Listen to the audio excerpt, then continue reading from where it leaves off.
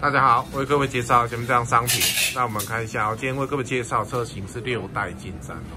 那为各位介绍是万斯的这个灯罩哦。那这个灯罩呢，就是我们所谓的这个把它这个灯罩只有做单边，所以它是把远灯部分遮起来，留下近灯的一个部分。它整个部分是用碳纤维下去做的。一个灯罩，然后呢，直接照在你原本大灯上面。那背后呢，呃，不管你是要是呃用魔力扣，还是还是说你要用这个双面胶的一个部分，其实都可以，看个人怎么去做运用的一个部分。然后它是针对于六代进站大灯远灯的一个外形做独立的一个呃单灯罩的一个设计哦，所以它只有左边的灯罩。那应该不太会有人遮双边呐。如果这边遮双边有，有时候可能在参展的时候，或者是你参加车聚的时候，那有些人会去把它特别遮起来，或者说有些人这边是装这个碳纤维的，右边是装熏黑的一个灯罩，把它遮起来。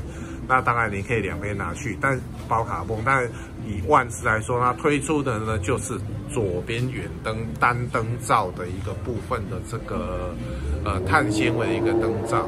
那当然我们看一下哦，这个是碳纤维的一个材质哦。然后呢，万斯的东西呢，基本上呢，呃都有一定的水准在哦。然后呃，应该说它还蛮多人喜欢它的这个。不管是 logo 的字样，还是说它的一个设计感，都是蛮多呃车友所喜欢的。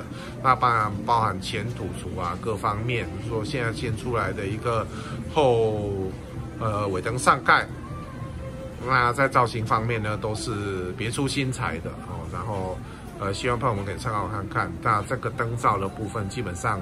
呃，像这位车主呢，就是其实是我们自己店员哈，然后他我们自己的师傅，他其实贴上去的时候，他就没有再拿下来哦。那当然，这个青菜流波，个人所喜好的不一样哦。那你也可以做魔鬼毡方式，你可以把它拆下来。